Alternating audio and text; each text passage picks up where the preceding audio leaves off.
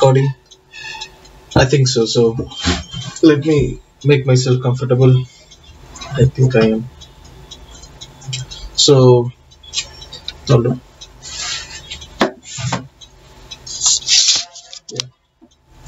So what I'm going to do is study for an hour at max. It's not 12 1. I'm going to study till 1. And I'm gonna have my lunch and I will be starting again by 2 to 2.30 and I'll be going till 5 or 6 in the evening. So yeah, let's start it.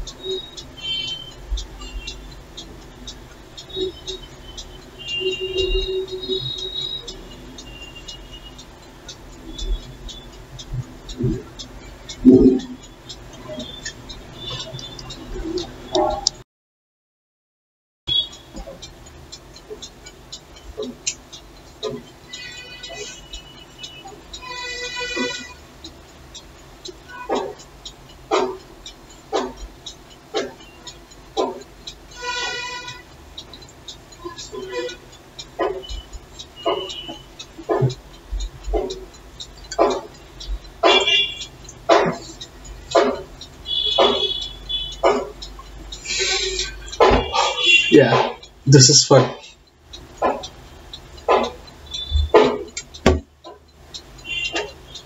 You know, uh, something wholesome. It's like just hearing a song like, "Yeah, bro, who got you smiling like that?" That song. That made my day. Actually, it's wholesome. It's like it made me happy, and I'm happy about it. And that's it. That is all a person like me needs. Like a song, wholesome song that which I don't care about it. Like, yo, bro, who got you smiling like that? It's like, yeah, no one, but it's funny. It's like, yeah, it's cool. It's like the go-to song when you're like in the vibe and you need some vibes. Yeah, yeah. I got the vibe and you know, steady is something which is like everyone sees as dry and dull, and uh, me doing something stupid and crazy is the fun thing, fun part about it. Yeah, I might look ugly right now, but if I get my beard back, see, man, I'm the most handsome guy you could ever see. You see it.